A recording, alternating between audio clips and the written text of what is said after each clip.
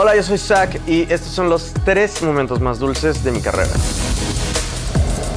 En primer lugar pondría subirme a un escenario con una artista que admiro muchísimo y que además fue eh, mi mentora en un reality show, Laura Pausini. Compartir escenario con ella ha sido increíble.